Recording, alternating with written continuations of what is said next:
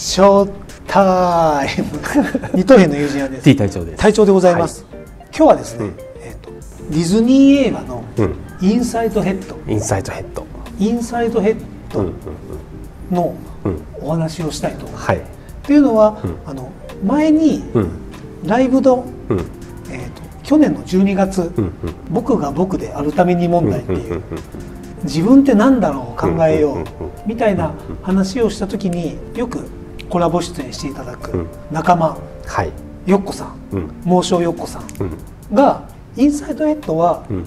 面白いよと、その自分って何かを考える時に、とても脳内の仕組みとかが分かりやすく描かれているよなん。て紹介していってくれたので、うん。早速見ましたと。見ましたと。でその僕はうん。2回目だった。はいはいはい。多分公開された時にうん結構前です2015年ぐらいに、あのレンタル貸しの時に多分すぐ見た。うんうんで多分その時は僕はあのオリジナルうん。原理主義者みたいな。要は英語で発表されたんなら英語で見るべきだろうみたいなうんうんうん。ので字幕で見たんですね。うんうんうん。なのでなんかああまあまあはいはいこういう映画ね。うんっていう印象しかなかったのでうんうんよっこさんにそれをうん。見てねって言われた時にう「あ見ます」って見たことないと思ったんですけどうんうん。今回うん。見た時にん「あ俺見たことある」とか「俺見たやつや」って。見たことないと思ってたけど。見たことあうん。見たことあった。が今回は日本語訳で見たんですね。うん。うん。そうしたところうん。とても良かった。うんうん。要はどんな話かというと頭の中に喜び喜び。悲しみうん。ビビり、怒りえー、とあとはもう一人いましたよね。ムカムカ。ムカムカなんだ。ムカムカ。うんうん。ちょっと皮肉っぽい。うんうんこの子たちが頭の中であの操縦をしている、うんうんである場面では怒りが「俺に任せろ」って出てくる。っていうようなお話だった。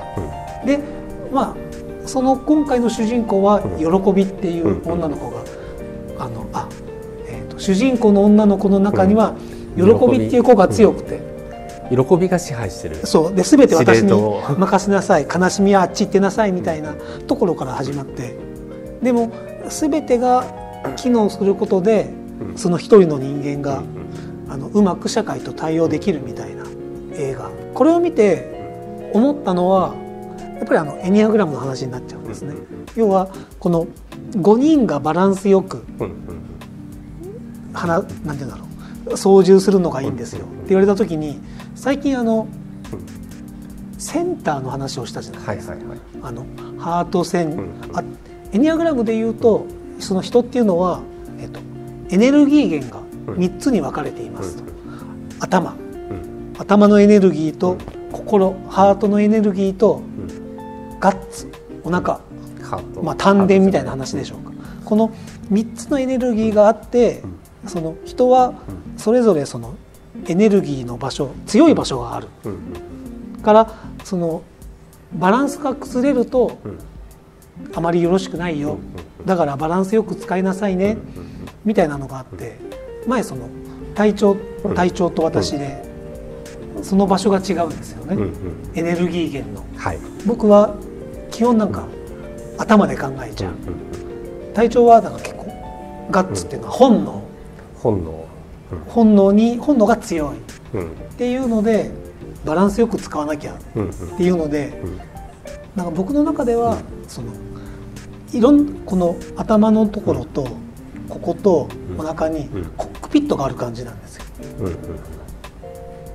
なのでコックピットを意識するとうん。いいんだろうなうん。って今思いながら。うん。だからたまになんかそのあ考えすぎの時はうん。あのコックピットに誰もいない。腹の。腹の。うんうんう。んガンタンクですね。あガンタンクぜひあれだったらググってください。こことここにコックピットがある。のをうん。意識するんですよ。うん。そうするといいんだろうなって。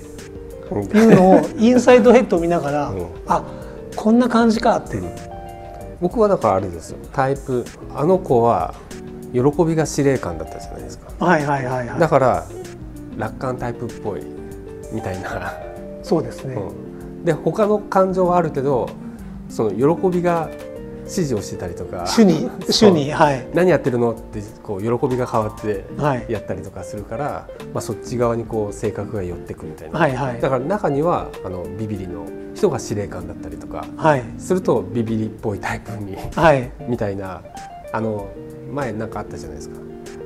脳内物質の話。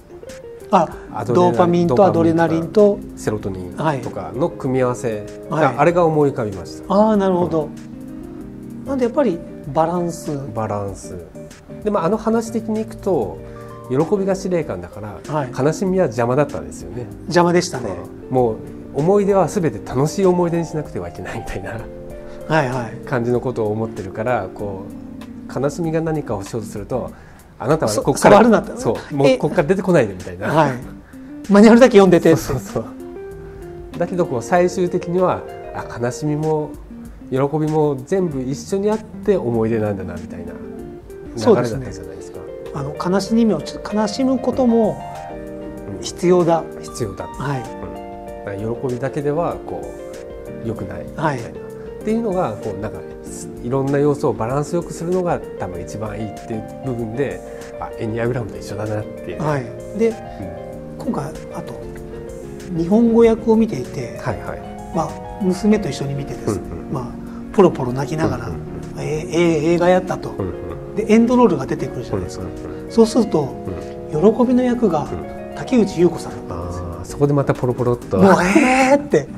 だからかって。うん。あの素晴らしさはうだからかうん。と思いながらちょっとやっぱりその今の現状を思ってしまうとうん。その何かに支配されたのかなと。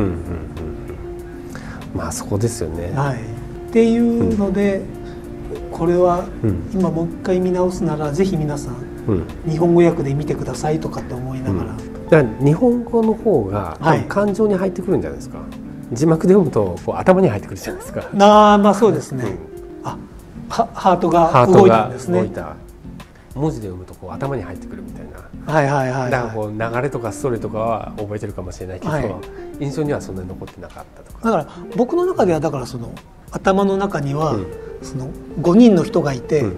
操縦が切り替わってるとか、うんうんその頭とハートとうガッツ、お腹にうん。コックピットがあって、うん。あ今人が乗ってないとかっていうのは、うん。結構なんていうんだろう考えることはできるんですけど、うん。体調ってどうですかそういうの？